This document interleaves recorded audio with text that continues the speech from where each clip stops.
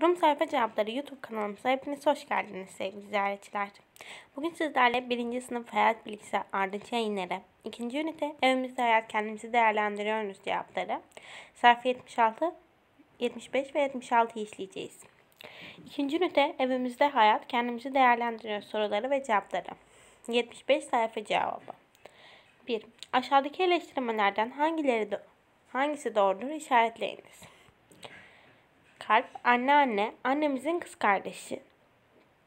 Yıldız, babaanne, babamızın annesi. Bunu işaretleyeceğiz arkadaşlar. Çiçek, dede, babamızın erkek kardeşi. 2. Aşağıdaki çocuklardan hangisi kaynakları doğru olarak kullanmaktadır? İşaretleyiniz. Kalp olan resimdeki çocuk kaynakları doğru kullanmaktadır. Ama yıldız ve çiçekte olan çocuklar kaynakları doğru kullanmamaktadır. 3. Evinizin yerine sözlü olarak ifade ediniz.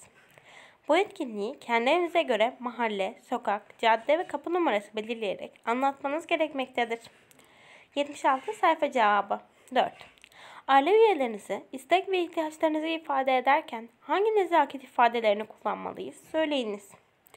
Aile üyelerime istek ve ihtiyaçlarımızı ifade ederken lütfen, rica ederim, teşekkür ederim gibi nezaket ifadelerini kullanıyorum. 5. Günümüzü planlamanın faydaları nelerdir söyleyiniz. Günümüzü planlamanın zamanı, neyi ve ne zaman yapacağımızı, nasıl yapacağımızı bilmiş oluruz.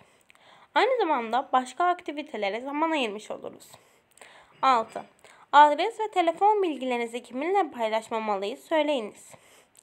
Adres ve telefon bilgilerimizi yabancılarla ve tanımadığımız kişilerle paylaşmamalıyız.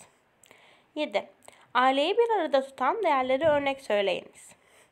Aileyi bir arada tutan değerler sevgi, saygı ve güvendir. Evet arkadaşlar, bir videonun daha sonuna geldik. Videomuzu beğenmeyi, kanalımıza abone olmayı, aklınıza takılan soruları yorumlar kısmına yazmayı unutmayın.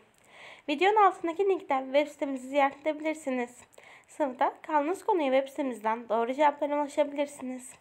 İyi bir eğitim öğretimle geçirme dileğiyle. Hoşçakalın.